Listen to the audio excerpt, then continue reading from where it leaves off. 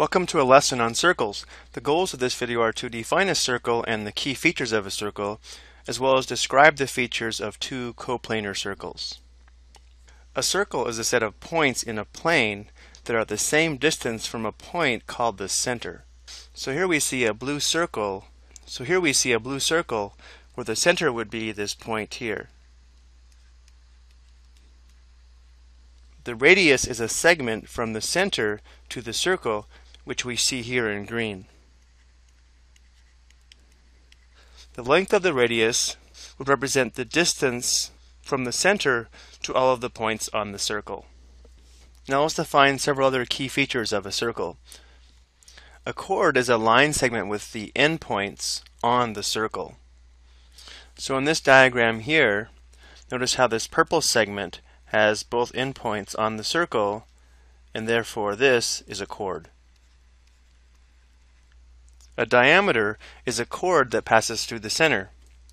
So we know from before this is the center of the circle, and since this red segment has its endpoints on the circle and passes through the center, this red segment is the diameter.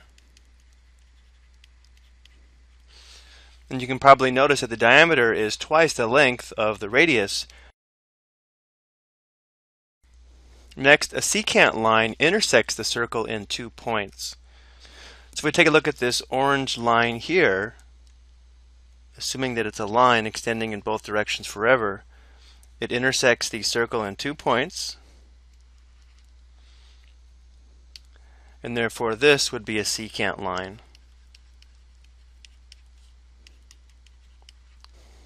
Now there's two more things we want to define. The next is a tangent line.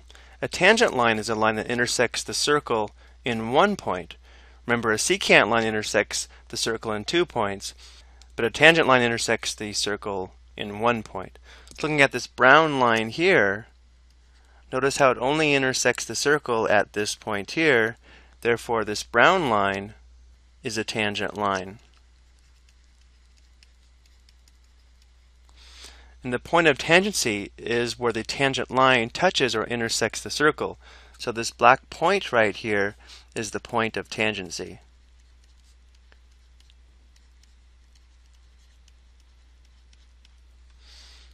Now let's talk about when we have two circles graphed on the same plane.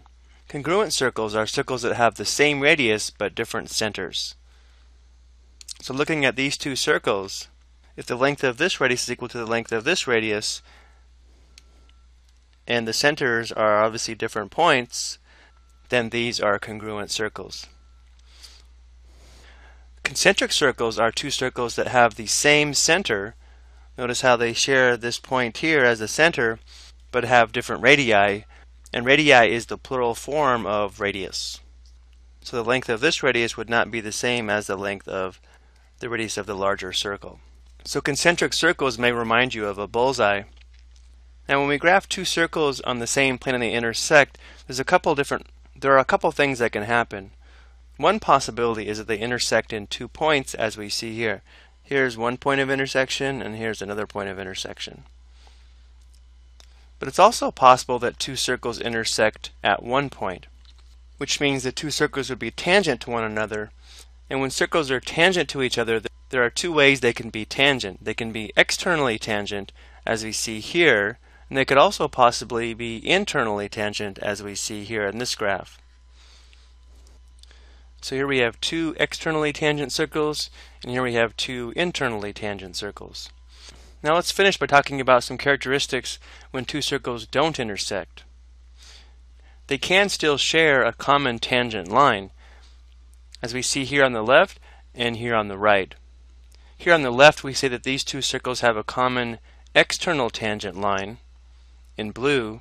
And here on the right we say that these two circles have a common internal tangent line. Notice how for the external tangent the line does not cross between the two circles, but for the internal tangent line it does.